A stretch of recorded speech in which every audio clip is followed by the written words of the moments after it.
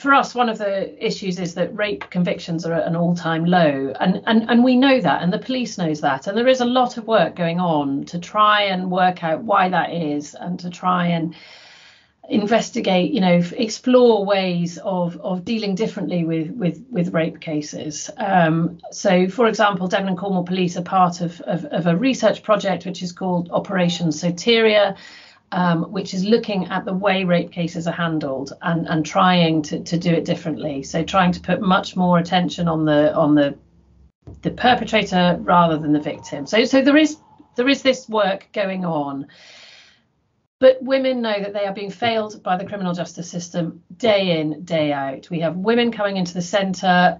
All rape crisis centres across the country have women coming in who are constantly being failed by the criminal justice system. And to hear that on the news that that almost every single woman police officer who was interviewed in that survey has said that they have been at the receiving end or witness to absolutely appalling behaviour in the workplace. It's just really shocking. And, you know, we wanted to say to Alison Hernandez, who is the um, Police and Crime Commissioner for Devon and Cornwall, we want to know what she's doing is it frustrating that in 2022, 2023, we're still talking about these issues that we were probably talking about 10 years ago, probably 20 years ago as well? It's deeply frustrating. And, you know, we really should have moved on by now. I think for us in the rape crisis movement, we want women to feel that they can trust the police.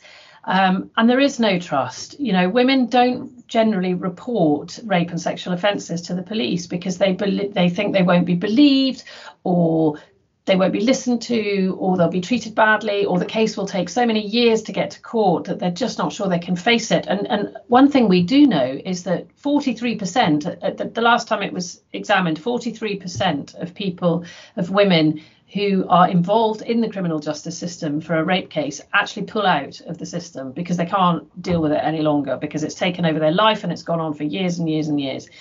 So the fact that we're still here in 2023 is is really appalling and it and it needs to be addressed. It needs to be taken really seriously. It's a very anecdotal thing. Um, I've seen a lot more women recently talking about past experiences openly on forums like Facebook, for example. Um, yeah, I, I, know that uh, Me Too is much more American than it was this in this country, but there does seem to be a culture change, but it's so frustratingly slow, and it seems like it's not really moving forward. Would you agree with that? Absolutely. I think there has been a culture change. And I think uh, one of the things, you know, is the Harvey Weinstein trial in America, which followed the Me Too movement. Um, and then you've got things like Everyone's Invited, which was that website where young people were, were talking about their experiences at schools and, and universities across the country.